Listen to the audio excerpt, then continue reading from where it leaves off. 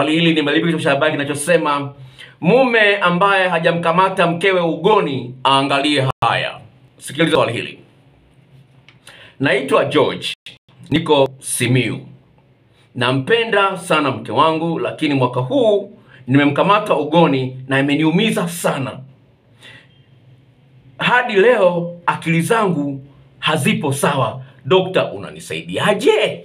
Nikamuuliza swali, je, una tatizo la kuwahi kumaliza au nguvu hafifu? Unaishia goli moja au uume mfupi au mwembamba? Yeye akajibu, dokta, nina matatizo hayo yote, nilijichua sana. Nikamwambia pole, hiyo pole kwa hilo tatizo. Tatizo hilo limemboa mke wako. Mke wako akaona kwamba anafurahia tendo la ndoa anapokutana na wanaume wenye maumbile tofauti na ya kwako, wenye uwezo mkubwa uh, wa kusimamisha uume kwa muda mrefu tofauti na wako. Yeye akajibu, mbona nimezaa naye dokta, inakuwaje? Nikamwambia hivi, hata mbuzi, kuku wanazaa, lakini swala la kufika kileleni haliwasumbui akili. Mwanamke anasumbuliwa akili na hilo kwa sababu imeandikwa kwenye Biblia, mwanaume anayeshindwa kumridhisha mwanamke atadharauliwa.